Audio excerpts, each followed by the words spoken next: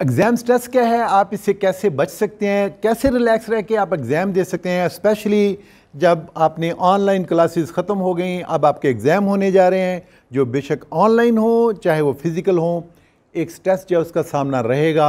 आज हम देखेंगे कि एग्ज़ाम स्ट्रेस को अवॉइड कैसे किया जा सकता है।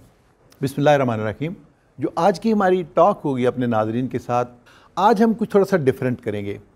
आज हम करने ये जा रहे हैं कि एग्ज़ाम के दौरान मैंने उस टाइम पीरियड को कैसे पास किया? हम आज सिर्फ़ और सिर्फ़ अपने तजर्बात, हमने क्या किया, कैसे इसमें से गुजरे? तो हमने उसे कैसे जो है अवॉइड किया, रोज़ी ड्रामा क्या था और उसका एग्ज़ाम के साथ स्ट्रेस के साथ क्या ताल्लुक था? ये भी आप इसी क्लिप में देखेंगे, लेकिन इसके लिए आप एंड तक देखना पड़ेगा। फिर आपको दिखाएँगे, बताएँगे कि मुइन अख्तर का ड्रामा रोज़ी और उसका एग्ज़ाम से ताल्लुक़ क्या था। तो चलिए आइए बात करते हैं कि एग्ज़ाम जो है उसकी स्ट्रेस तो बहरहाल, अगर आपने, हम आपको नीचे लिंक में शेयर कर देते हैं कि स्ट्रेस को अवॉइड कैसे करना है, या स्ट्रेस का एक पर्सपेक्टिव ये भी है। स्ट्रेस को एक नॉर्मल जो एक ऑप्टिमम लेवल है, उस तक होना ज़रूरी है ताकि हमें एक्टिविटी करने का बूस्ट मिलता रहे। लेकिन आपने स्ट्रेस को इस लेवल पे नहीं जाने देना जहाँ आप एग्जॉस्ट हो जाएँ, जहाँ आप फटीक हो जाएँ, जहाँ आपको मेमोरी की प्रॉब्लम आए, जहाँ आप डिप्रेशन में चले जाएँ, जहाँ कोई इरिटेशन हो रही हो, या जहाँ आप जाके कहें कि कुछ भी याद नहीं आ रहा, मुझे कुछ याद नहीं हो रहा, हमने इस लेवल पे इसे नहीं लेके जाना। तो प्रैक्टिकली अपने एमबीबीएस के एग्ज़ाम्स अपने मास्टर्स के एग्ज़ाम्स और अपने फिर पार्ट वन और पार्ट टू ये काफ़ी टफ होते हैं और काफ़ी महीनों के हिसाब से इसकी तैयारी होती है। उसके अंदर जो मैं, आप अपने सारे स्टूडेंट्स को जो एमबीबीएस के ख़ास तौर पे और बिलम बाकी के स्टूडेंट एक सबसे पहली इंपॉर्टेंट चीज़ जो मैं कहूँगा कि उस पर ज़ोर दें। वो आप देखिएगा कि आपका अपना बायोलॉजिकल क्लॉक क्या है। आइए देखते हैं। नंबर वन जो इंपॉर्टेंट है तो सबसे पहले आपने ये देखना है कि आपका बायोलॉजिकल क्लॉक क्या है। इस कॉन्सेप्ट को देख लीजिए। मैं सिंपली बता देता हूँ कि हर शख्स जो है बायोलॉजिकली दिन के 24 फोर आवर्स के जो आपका टाइम स्केल है, उसके अंदर वो सबसे एक ख़ास वक्त पे वो सबसे बेहतर परफॉर्म कर रहा होता है। वो दिन हो सकता है, वो रात हो सकता है, वो दिन या रात का कोई मखसूस हिस्सा हो सकता है। और आप इसमें देखते हैं, मैं इसकी मिसाल यूँ देता हूँ कि कुछ बच्चे जो हैं, वो दिन के वक्त बहुत अच्छा पढ़ते हैं। कुछ बच्चों को आप देखेंगे वो कहेंगे फजर की नमाज़ जब हम पढ़ के उठते हैं तो वो जो पहला टाइम होता है जिसमें जनाब हवा हल्की हल्की चल रही है मौसम बहुत अच्छा है उसमें मुझे जब मैं पढ़ता हूँ तो मुझे याद रह जाता है। और पुराने ज़माने के सारे बुज़ुर्ग यही कर, कहा करते थे कि सवेरे सवेरे उठ के पढ़ा करो अगर आपको याद आ गया। लेकिन इसके बरक्स आपने देखा होगा कुछ लोग ऐसे हैं जो रात में जो मेहनत अच्छा करते हैं जो कंसनट्रेट अच्छा करते हैं और जल्दी ग्रैस करते हैं। कायद अजम की मिसाल ले लीजिए। उनके वर्किंग आवर्स जो है, वो भी देख ली वैसे वो तो काम काम और काम पे यकीन रखते, दिन रात रात काम करते थे। तो आपने सबसे पहली चीज़ जो एग्ज़ाम की स्ट्रेस से बचने के लिए आपने करनी है, वो आपने नोट करना कि आपका बायोलॉजिकल क्लॉक जो है, वो कैसा है? आप किस वक्त सबसे ज़्यादा अच्छा परफॉर्म करते हैं? आइए, मैंने आपसे कहा था कि अपनी ज़ाती मिसाल देंगे। तो मैंने तमाम प्रोफेशनल्स में मेरा रूटीन रहा, मेरा जो रुझान रहा वो ये था कि मैं रात के वक्त में ज़्यादा कंसंट्रेशन से पढ़ा करता था। और मैं अमूमन मेरे जो दोस्त साहबाब हैं वो जानते हैं कि हम नौ दस बजे की पढ़ाई शुरू करते थे तो मैं क्या करता दस ग्यारह बारह बजे तक पढ़ाई नॉर्मल हो, लेकिन बारह से लेकर दो, तीन, चार बजे तक जो पढ़ाई थी एक्सीलेंट हुआ करती थी। तो इसमें जो हमारे भी बुज़ुर्ग थे, उन्होंने कहा कि जनाब सुबह सुबह उठ के पढ़ा करें फजर की नमाज़ पढ़ के आप सोते हैं तो फजर की नमाज़ पढ़ के हम तो उठा करते थे। हम, ये रूटीन हमने रखी थी। आपको जो बताना चाह रहा हूँ, जो वार्न करना चाह रहा हूँ, मैंने एक एग्ज़ाम के दौरान, हम क्योंकि बड़े ताबेदार ताबे फरमा बच्चे थे तो एक एग्ज़ाम में ये करने की कोशिश की। तो दस दिन ये रूटीन जब बनाई वक्त ज़ाया हुआ, पता चला कि मेरा बायोलॉजिकल क्लॉक वो नहीं है। मैं चाहे जितनी नेक नीयति से उस वक्त पढ़ना चाहूँ, मैं उस टाइम पे नहीं पढ़ सकता, नहीं कंसनट्रेट कर सकता और मुझे उस वक्त अजबर नहीं हो रहा था सबक। तो मैंने फौरी तौर पे, क्योंकि आगे टाइम पीरियड था, मैंने फौरी तौर पे अपने बायोलॉजिकल क्लाक की तरफ़ रुजू किया और मैंने जो मैं बाकी के एग्ज़ाम में करता आया था और जो मैंने आगे भी फिर जाके उसी टाइम को यूटिलाइज़ किया, मैंने उस पर जाके अपनी तरतीब को दोबारा से तरतीब दिया। सबसे पहले स्टूडेंट्स ने ये देखना है कि उनका बायोलॉजिकल क्लाक क्या है, उनका सबसे बेहतरीन पढ़ने का टाइम क्या है। और आप उसमें आइए। नंबर एक। नंबर दो। जब आप पढ़ने के लिए बैठते हैं, वो जगह जो है, वो आपकी सिंपल, तरीन होनी चाहिए। मैं इसको, आप इसका कुछ भी और इन्वान दे सकते हैं। मैंने आपको सिर्फ़ सिंपल रखने के लिए इसका नाम सिंपल प्लेस रखा है। मैं इसे एक्सप्लेन कैसे करता हूँ? मसलन मैंने ये नोट किया, मैं हॉस्टलाइट था, मैं हॉस्टल में रहता था और जब मैं घर में भी रह के तैयारी की तो मैं जिस जगह पे रात में ये दिन के ख़ास हिस्से में बैठ के पढ़ा करता था, मैंने ये नोट किया कि अगर मैं उसके पर्दे, अगर उसकी तरतीब सादा तरीन रखता हूँ तो मेरी डिस्ट्रैक्शन कम से कम होती है। मुझे आज भी वो एग्ज़ाम याद है फाइनल के एग्ज़ाम्स के, उसमें मैंने सिर्फ़ एग्ज़ाम के लिए मैंने पर्दे चेंज कर दिए और मैं आपको बता देता हूँ, उनका कलर यही था, ये वाला। कि जो मेरे, जो ऑफ़ वाइट कलर दीवारों का था, मैंने उसी कलर के पर्दे लिए कि मेरी नज़र जो है, जब घूमे तो डिस्ट्रैक्ट ना हो। और मैंने अपने इर्द गिर्द की चीज़ों को भी कोशिश किया कि सिंपल से सिंपल मैं रखूँ। Keep it simple made be your place made be the surroundings ठीक हो गया? तो दो चीज़ें आपको बता दी। तीसरी चीज़ जब बोलते हैं डी क्लटर आपने जिस जगह बैठना है, आपका टेबल जिस जगह बैठे हुए हैं, उसके ऊपर कोशिश कीजिए कि आपकी जो रिलेटेड बुक है, जो रिलेटेड नोट्स हैं, उसके अलावा और कोई किसी किस्म का गंद ना हो। उसके ऊपर कोई रश ना हो। आप बैठें तो आपको सिर्फ़ कंसंट्रेट करने के लिए वही जो आपका एग्ज़ाम से रिलेटेड जो आपका टॉपिक है, जो आपका मजमून है, उससे रिलेटेड एक, दो, तीन बुक जो भी आपने पढ़नी है, उस वक्त वो हो। बाकी आपका टेबल टोटली खाली होना चाहिए। And same must be about your room उसे सिंपल भी रखें और चीज़ों का जो जहाँ हजूम है, उसको भी कम से कम रखिए। ठीक, ये हो गई तीन चीज़ें। अगली चौथी चीज़ जो बहुत ज़्यादा ज़रूरी है, जो आपने करनी है, आप कोशिश कीजिए, यहाँ देखिए हम चीज़ों को तरतीब में लाने की कोशिश कर रहे हैं तो अब आपको समझ आ जाएगी कि अगली तरतीब आपने पढ़ाई के हवाले से वो क्या बनानी है, वो मैं यहाँ लिख देता हूँ। ठीक हो गया? तो चौथी चीज़ जो आपने करनी है, वो है आपका टाइम टेबल। कोशिश कीजिए कि इसके ऊपर अगर आपका थोड़ा सा टाइम 10 15 20 मिनट, घंटा, डेढ़ घंटा, दो घंटे लगते हैं, इसके ऊपर जितना मैक्सिमम टाइम लगा सकते हैं, इसे ज़रूर लगाइए। और इसमें कुछ आपको प्रैक्टिकल पॉइंट्स में बताना चाहूँगा, मुझे टेबल कैलेंडर दीजिए। और इसमें मैं आपको कुछ प्रैक्टिकल पॉइंट्स बता दूँ। मसलन देखिए, यहाँ पे ये एक टाइम टेबल के हवाले से मैंने किया है। आप, अगर आपका एग्ज़ाम यहाँ पे है, इस जगह पर है तो आपने क्या करना है?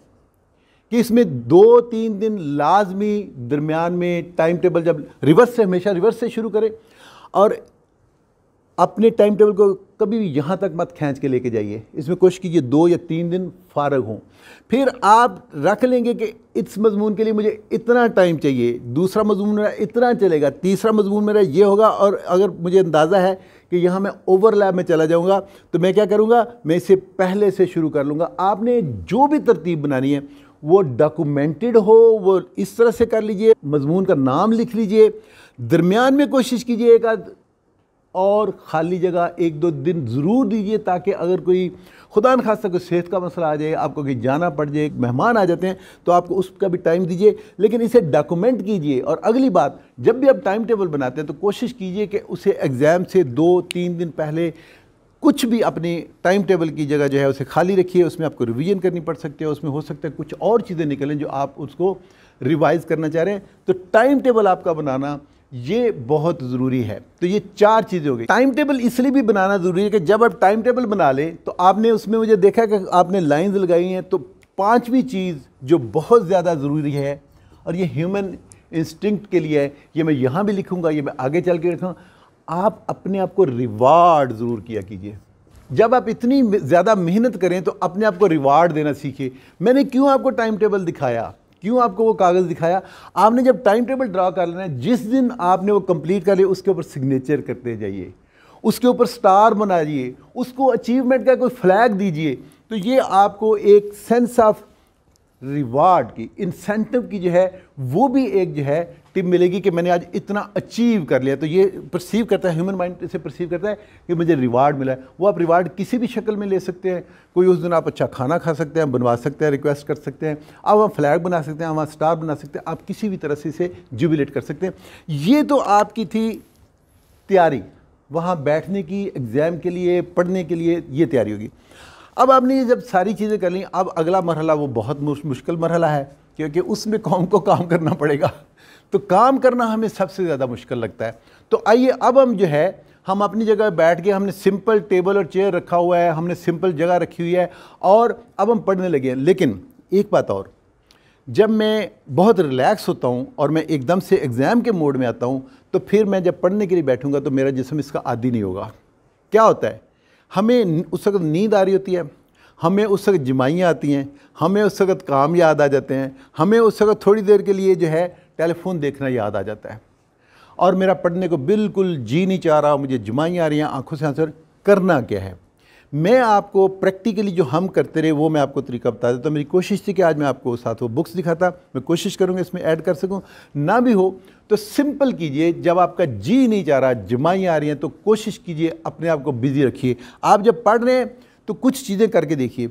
नंबर एक, उसे मैं, उसे रूल के साथ जो है ना, जो फुटा जिसे आप बोलते हैं, उसके साथ मैं अंडरलाइन किया करता था। आप मुख्तलिफ़ कलर के मार्कर्स जो हैं वो यूज़ कर सकते हैं। आपने यहाँ भी मुझे देखा कि मैंने अपने टाइम टेबल भी जो है मैंने मुख्तलिफ़ कलर्स रखे हुए थे। और आपको मैं अभी भी दिखा सकता हूँ। ये देखिए, मुख्तलिफ़ जो है कलर अभी भी मैं एग्ज़ाम नहीं दे रहा। मैंने एक वीडियो रिकॉर्ड करवानी थी, लेकिन उसके लिए भी मैंने कोशिश की कि मैं अच्छे मुख्तलिफ़ कलर्स रखूँ तो आप लाइन अंडरलाइन कर सकते हैं आप हाईलाइट कर सकते हैं आप मुख्तलिफ़ रंग के मार्कर्स कर सकते हैं। क्या होगा? आपका जहन एंगेज होना शुरू हो जाएगा। आप ये नहीं करना चाहते इसकी आपको आदत नहीं है। आप एक रफ पेपर साथ लेके आप लिखने जो भी चीज़ है उसे लिखते जाइए पॉइंट लिखते जाइए। पूरा नहीं लिखें ता, ताकि वक्त ज़ाया ना हो लेकिन उसे लिखना शुरू कीजिए। क्या होगा? कुछ टाइम के बाद कुछ दिनों के बाद अब आपका सारे का सारा माहौल जो है अब आपका जहन जो है वो पढ़ाई की तरफ़ उस तरफ़ लग जाएगा एंगेज हो जाएगा। ठीक हो गया। तो आपने जो आपको पढ़ते वक्त सबसे ज़्यादा प्रॉब्लम आती है, आपने उसको इस तरह से टैकल करने के आपने किस किस तरह से अपने आप को एंगेज रखना है। अगला जो प्रैक्टिकल पॉइंट है, जो मैंने यहाँ रिवार्ड का कहा तो उसमें आप दरमियान में चाय का या पानी का या किसी और मशरूब का जो वक्फा दरमियान में रखिए, उसे इस तरह से रखिए कि मैं इतना पढ़ने के बाद हम चाय पिएँगे मैं कॉफ़ी पीऊँगा, मैं ये करूँगा। ठीक? इसमें जो एक बहुत अच्छा इंटरवल जो मिल सकता है बहसीत मुसलमान मैं आपको ये कहना चाहूँगा अपने नमाज़ के जो टाइम है टाइम टेबल है उसके साथ टाइम टेबल बनाइए अपने आप को रिवार्ड वहाँ पे भी कीजिए। अच्छा फिर जब हमने सिंपल रखने की बात की थी और जब हम पढ़ने के लिए हम कहते हैं कि आ, हमारा जी नहीं लगता तो अपने कमरे में याद रखिए पढ़ाई के दरमियान आपके कोई एलसीडी कोई टीवी ये ऑन नहीं होना चाहिए। बहुत बेहतर होगा कि जब आप एग्ज़ाम के बहुत करीब हैं तो आप अपने फ़ोन को ऑफ़ रखिए। आप कोशिश कीजिए कि आप जो सोशल नेटवर्क्स हैं उनसे आप थोड़ा सा अवेयर रहिए। तो सबसे ज़्यादा जो हमारा टाइम ज़ाया कर रहे हैं वो ये कर रहे हैं मैं अब इसमें अपनी, मैंने कहा, हम किताबी बातें नहीं करेंगे। तो मैंने अपने एग्ज़ाम्स के दौरान, जिस, जिन दिनों में क्यूबिकल में था, मैं ये किया करता था कि मेरा रूम लॉक होता था और कोई भी आके नॉक करता था, वो दरवाज़ा हमने नहीं खोलना होता था। अब मैं और मेरा दोस्त अलहदा तैयारी कर रहे थे तो असूल ये होता था कि उन्हें उसने आके नॉक करना था, तीन मरतब नॉक करने के बाद उसने अपना नाम पुकारना होता था कि मकसूद। तो वो जब आ जाता था तो फिर हम चाय पिया करते थे। और उस दौरान भी हमारी कोशिश ये होती थी, हमारा पढ़ाई के अलावा और टॉपिक ना हो।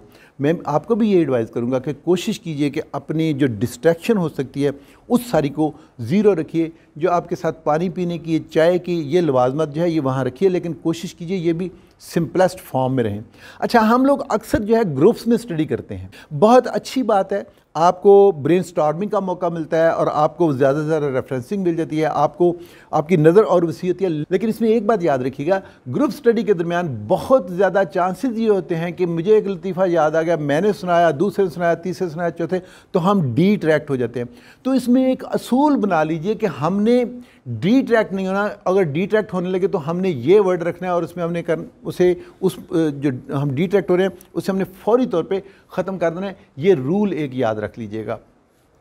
अच्छा जो हमें मुझे प्रैक्टिकल प्रॉब्लम नज़र आई उसमें यह था कि आ, हम कुछ गेम्स हमारे दोस्त थे आ, उसके हम बहुत दिलदादा थे। तो टेबल टेनिस खेलने के लिए निकल जाना ठीक है ख़बरें देखने लगे नौ बजे की और उसके बाद हम कॉमन रूम में गेम खेल रहे हैं। तो उसमें टाइम बहुत ज़्यादा ज़ाया हो जाता था। तो मैं आपको एक और जो बहुत इंपॉर्टेंट चीज़ अपने आप को एंगेज रखने के लिए या अपने आप से प्रॉमिस करने के लिए बताने लगे, जो मैंने प्रैक्टिकली किया और उसने मुझे बड़ा हेल्प किया मेरे दो तीन एग्ज़ाम्स में।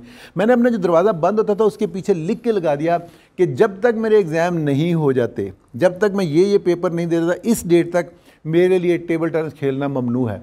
तो मैं जाता था और मैं नोटिस दे के वापस आ जाता था। तो आप कोशिश कीजिए अपने लिए कुछ ऐसे स्टिकर्स कोई ऐसा कार्ड कोई ऐसा नोटिस कोई ऐसा वादा वो आप बना के ज़रूर लगाइए ताकि आपकी अगर कोई आदत है कि मैं टीवी देख लूँ, मैं गेम, थोड़ी सी गेम ना खेल लूँ, मैं थोड़ा सी बैडमिंटन खेलूँ थोड़ा सा टेबल टेनिस हो जाए तो आप उससे कैसे छुटकारा पा सकते हैं? ये स्टिकर वगैरह जाए, उससे मदद ले सकते हैं। इसके दौरान कुछ अमूमी आपको वाक़ात बता देता हूँ, जब आप लंबे टाइम के लिए स्टडी कर रहे होते हैं तो आप दरमियान में एक लफ्ज़ आता है, एग्जॉस्ट हो जाना। डिप्रेस हो जाना। सबसे ज़्यादा डिप्रेशन का बताता हूँ कि आप अगर एग्ज़ाम के जितना करीब जाते जाते तो आपको एक फीलिंग आना शुरू होती है, पिछला सब कुछ भूल गया। सर जी, कुछ याद नहीं है। तो ऐसे मौके पर एक चीज़ याद रखिएगा। आपने इस फीलिंग को ज़्यादा देर अपने ऊपर तारी नहीं होने देना। पिछला भूल गया ना तो अब आप क्या कर सकते हैं? जो अगला टाइम है, वो तो अपने पास है ना। तो जितना उसमें आप ये अपने आप को समझा लीजिए कि दिन में एक, दो सफ़े, एक, दो मजमून, एक, दो और सब्जेक्ट जितने मैं कवर कर सकता हूँ, मैं उसे कर लेता हूँ, वो भी अल्लाह ताला याददाश्त मुझे वापस लौटा देंगे। याददाश्त वही होती है, लेकिन होता यह कि एग्ज़ाम के करीब आने पर आपके सोच का जो पहिया है, वो बड़ी तेज़ी से घूम रहा था लगता है ऐसे कि मुझे कुछ याद नहीं रहा, लेकिन इन ताला वो याद रहेगा। आपने उस मोमेंट का जो एक जबर है, जो उसका प्रेशर है जो उसकी टेंशन है, उसमें नहीं आना। जब ये लगे कि ऊह पिछला सब कुछ भूल गया तो उसने कोई बात नहीं, अल्लाह ताला करम करेंगे। जो आगे मेरे पास टाइम है, मैं इसको अच्छी तरह से याद करने की कोशिश करता हूँ। मुझे अपने एग्जास्ट होने के दो तीन वाक़ात जो है, मैंने आपसे रोज़ी ड्रामे का ज़िक्र किया था। मुझे एग्जास्ट होने के एक दो और वाक़ात जो है, वो मैंने आपके साथ शेयर करने मेरे रूममेट ने, मैंने उसे देखा कि नमाज़ पढ़ के आया, आके वो डेढ़ घंटा लेटा रहा लेटा रहा। तो जब उसने चादर चेहरे से हटाई तो मैंने कहा हाँ भाई, उठ गए। फ्रेश हो गए। तो उसने अपने आप को एक बड़ी सारी गाली कहती कि तो सोया कौन था? मैंने, मुझे तो टेंशन की वजह से नींद भी नहीं आई। तो अगर आपको नींद नहीं आ रही तो उठ के बैठ के पढ़ लीजिए। अगर आपको फिर भी पढ़ा नहीं जा रहा तो इस टेंशन में सबसे बेहतर ये होता है कि आप अपने आप को रिलैक्स करें, कुछ थोड़ा सा ब्रीदिंग एक्सरसाइजेज में जाइए। अब थोड़ा सा अपने आप को मेडिटेट करके देखें सजदे की पोजिशन में जाइए, याद रखिए। जब हम अपने रब के हजूर झुकते हैं, सजदा करते हैं तो सबसे ज़्यादा ब्लड सप्लाई कहाँ जा रहती है? जो सबसे चीज़ नीचे होती है और सबसे नीचे चीज़ क्या होती है? आपका सर जो है, ज़मीन के साथ लगा होता है। तो ब्रेन की आप दोबारा से ज़्यादा, एक सर्कुलेशन जो है, उसे इम्प्रूव कर मेडिटेट करके देख लीजिए। मैं बड़ा दिलचस्प वाक्य बताता हूँ। फाइनल ईयर के एग्ज़ाम हमारे तकरीबन एक माह पे मुहित होते हैं। तो मुझे आज भी अच्छी तरह से याद है कि मेरा एक सब्जेक्ट था जिसमें मैं जब पढ़ पढ़ रहा था तो मुझे पता चला कि ना तो मुझे पिछला याद है और जो मैं पढ़ने की कोशिश कर रहा हूँ, वो सिर्फ़ लाइनें ही लाइनें आ रही हैं। तो मुझसे पढ़ा तो जा नहीं रहा। तो इसमें बजाय इसकी कि मैं परेशान हो जाता टेंस हो जाता, या मैं कुछ डिप्रेशन में जाता, मैंने उसका जो हल निकाला वो देखिएगा। मैं क्योंकि हॉस्टल में था, मैंने पहले भी अर्ज़ किया, मैं निकला और जो दोस्त मुझे अकोमोडेट कर सकता था, जिसका दरवाज़ा खोल, मैं जाके उसके पास बैठा, बजाय इसके मैं टाइम जाकर, मैं क्या पढ़ रहे हो? उसने कहा, ये पढ़ रहा हूँ, यार बहुत टेंशन हुई है टेंशन तो मुझे भी थी, लेकिन मैंने उसके सामने अपने आप को रिलैक्स हो गया मैंने कहा, अभी तुम्हारी टेंशन का इलाज करते हैं। जो पढ़ रहे थोड़ा मुझे सुनाना। तो उसने मुझे दो क्वेश्चन पढ़ के सुनाए तो कहने लगा कि अब जो ना मैं ये काम करने लगा हूँ। तो मैं उसके कमरे से निकला। तो मैं और कम, मुझे आज तक याद है, मैं अपने तीन या चार दोस्तों के पास गया। नाजरीन, यकीन कीजिए कि जब अगले दिन एग्ज़ाम आया तो उसमें पाँच क्वेश्चंस ऐसे थे, जो मैंने सिर्फ़ लोगों से सुने थे। मैं उस एग्जास्ट होने के प्रोसेस में, जब मैं बिल्कुल टोटली ये सिस्टम कोलैप्स हुआ पड़ा था, ना मुझे पिछला याद आ रहा था। ना मुझे कुछ याद हो रहा था। बजाय टेंस होने के मैं उन दोस्तों के पास गया। मैंने कहा हाँ भाई आओ, तुमसे सुनते हैं सबक सुनते हैं। लेकिन वो लोग जो आपको सुनाना भी चाहते थे, जो खुद टेंशन में थे, आप जब किसी की टेंशन को दूर करते हैं, अल्लाह ताला आपकी टेंशन को रिलीज़ कर देते हैं। इसमें से देखिए कितने ज़्यादा सबक हुए कि मैंने अपने आप को डिप्रेशन में नहीं जाने दिया, डिप्रेस नहीं किया, टेंस नहीं किया, दूसरे की टेंशन को रिलीज़ करने की कोशिश की, उसे कहा तो मुझे सुनाओ, मैं अभी सुन लेता हूँ। अगले दिन मुझे पाँच क्वेश्चन वो है जो मैं यहाँ से आठ, दस जो मैं सुन के गया था, उनमें से पाँच मुझे वहाँ मिल गए और मैं अल्लाह ताला का, जब मैंने पेपर देखा, मैं अल्लाह ताला का इतना शुक्रगुजार था कि मैं एक अच्छी नीयत लेके गया। मैंने दूसरे की टेंशन रिलीज़ की। उसे पता नहीं था मैं खुद जो है अपनी टेंशन जो है उससे निकलने की कोशिश में उसकी मदद कर रहा हूँ। अल्लाह ताला ने हम दोनों की मदद इस तरह करी। अपनी नीयतों को ठीक रखिए। स्टे पॉजिटिव हमेशा से। आखिर में रोज़ी ड्रामा की बात करता हूँ। जिन दिनों रोज़ी ड्रामा आया है, अगर किसी ने नहीं देखा तो मुइन अख्तर का ये एक अरूज के दौर का ज़माना था। तो मुझे याद है कि उससे अगले दिन मेरा पेपर था। तो दोबारा से ये मेरे पेपर जो थे, ये पार्ट वन के थे, सब्जेक्ट स्पेशलाइजेशन के थे, उसमें मैं अपियर हो रहा था। तो मैं पढ़ने के बाद जिसे कहते हैं वो तकरीबन नीम पागल, फिर पता नहीं चाह रहा था कि क्या करूँ, क्या ना करूँ। मैंने अपने जाके फ्रिज को टटोला, उसमें दही मिला, दही बैठ के खा गया। टीवी हम नहीं लगाया करते थे। तो अब क्योंकि कुछ नहीं था टीवी लगाया तो सामने ये ड्रामा लगा हुआ। तो मैंने देखा कि ये ड्रामा मुख्तलिफ़ था। मोइन अख्तर एक अलहदा रोल में रोज़ी ड्रामा, एक ज़ात खुद, बहुत बड़ा सब्जेक्ट है लोगों के लिए। तो मैंने वो सारा ड्रामा देखा। मैंने वो ड्रामा आप अपने एग्ज़ाम से एक रात पहले पूरी दिल जमी के साथ डट के देखा, जब ड्रामा ख़त्म हुआ, मुझे आज भी याद है कि मैं जंप मार के खड़ा हुआ कि, ओए डॉक्टर, इतना टाइम तूने ज़ाया कर दिया, तूने इंजॉय किया, चल बैठ, अभी किताबें पकड़। और अब डट के पढ़ भी, तूने अयाशी भी पूरी कर ली। सो जब आपने टाइम वेस्ट करना है, जब आपने अपनी टेंशन को दूर करना है, उसे किसी अच्छी चीज़ के साथ दूर कीजिए। अपने आप को दोबारा जुबिलेशन के मोड में लेके आइए और अपने टाइम को पहले से बेहतर अंदाज में जो है वो इस्तेमाल कीजिए। कुछ वाक़ थे जो आपके साथ शेयर किए। सबसे पहले जो मैंने आपके साथ बात जहाँ से शुरू की, वहीं पे आपको लेके आऊँगा। देखिए स्ट्रेस से परेशान ना होइए। मैं नीचे जो लिंक शेयर कर रहा हूँ आपके साथ, उसमें जाके पढ़िए, देखिए स्ट्रेस के मतलब अपना पर्सपेक्टिव चेंज कीजिए। मुझे एग्ज़ाम की थोड़ी सी स्ट्रेस होनी चाहिए, ताकि मैं, मुझे पता चले मैंने तैयारी करनी है। मुझे एग्ज़ाम की थोड़ी सी स्ट्रेस होनी चाहिए, ताकि मैं अपने आप को डी क्लटर करूँ। मुझे एग्ज़ाम की थोड़ी सी स्ट्रेस होनी चाहिए, ताकि मैं टाइम टेबल बनाऊँ। फिर मुझे थोड़ी सी स्ट्रेस होनी चाहिए, ताकि जब मैं पढ़ लूँ तो मैं अपने आप को रिवार्ड करूँ कि हाँ आज मैंने इतना जो है टॉपिक कर लिया, इतने सब्जेक्ट कर लिए, अब बाकी मेरा इतना टाइम जो है, मैं इस इस सब्जेक्ट को दूँगा। उम्मीद है कि ये प्रैक्टिकल स्टेप्स आपको सुनने में अच्छे भी लगे होंगे। आप इसे यूटिलाइज भी कर सकते हैं। अल्लाह ताला हम सब का हम नासिर हो और हम सब के लिए बहुत सारी आसानियों का बायस भी हो। वमा लेना इल्लल बलागुल मुबीन।